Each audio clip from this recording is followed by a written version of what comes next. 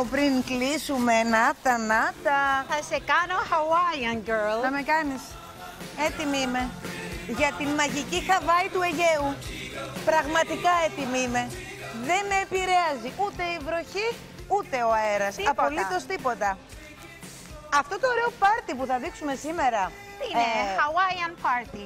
το οποίο το προτείνουμε για πάρτι μεγάλων και για πάρτι εφήβων. Θα μπορούσε να είναι και πάρτι εφήβων τώρα που το λες, αλλά εγώ το έκανα για πάρτι Τώρα μεγάλο. το κατάλαβα, μου βάλες φούστα. Ναι, Α, δεν το είχα γιατί καταλάβει. χόρευες τόση ώρα; Χόρευα γιατί φόρεσε αυτό και θυμήθηκα. Γι' αυτό. Α, πάρα πολύ ωραία.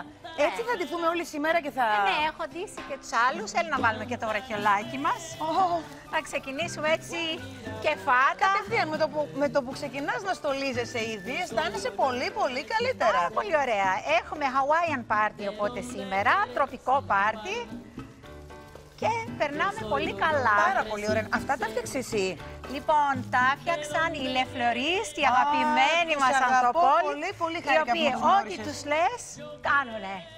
Πάρα πολύ Είσαι ωραία. η super Hawaiian girl. Πολύ. Όλα. Α. Α, και κοίτα τι άλλο σου έχω κάνει. Πόσο θα τρέχουν Θα τα κάνουμε λουλούδια; μετά Μήπως photo κάνω καμιά booth. εμφάνιση στον Κοίτα. Αντρούλη μου το Σάββατο, Κοίτα, ξέρω εγώ. ναι. Κρατάνε ή θα μαραθούν που είναι Εννοείται. δημαραμένοι. Θέλω να με δει Εννοείται. φρέσκια άμα είναι. Μην Κοίτα. με δει όπως δεν πρέπει. Photo booth. Αχ, πολύ Θα ωραία. κάνουμε Μπαίνω και φωτογραφίες. μέσα.